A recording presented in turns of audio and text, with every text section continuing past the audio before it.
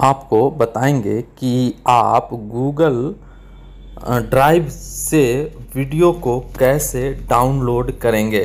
तो सबसे पहले तो आप गूगल ड्राइव में चले जाएँ तो इस फोल्डर को यहाँ पे देख लें।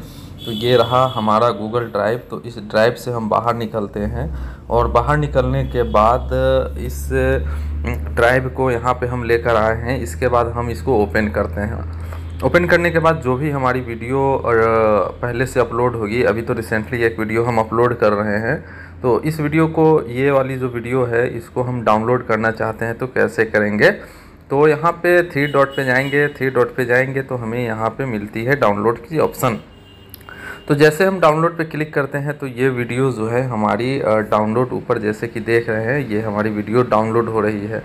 जब ये हमारी वीडियो डाउनलोड हो जाएगी तो ये हमारी वीडियो हमारी गैलरी में चली जाएगी, वहाँ से आप इस वीडियो को देख सकते हैं। जैसा कि देख सकते हैं, हमारा वीडियो ये डाउनलोड हो चुका है सक्सेसफुली। तो यही तरीका है गूगल ड्राइव से वीडियो को डाउनलोड करने का। तो अगर यहाँ पर वीडियो आपको अच्छा लगे तो वीडियो को लाइक कर दीजिएगा और चैनल को सब्सक्राइब कर दीजिएगा।